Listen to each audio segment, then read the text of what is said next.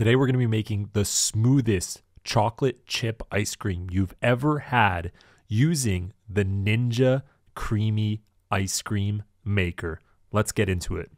In a bowl, combine cream cheese, vanilla, whipping cream, milk, and a little bit of sugar. Now, freeze your ingredients in the provided bowl overnight until you get something that looks like this.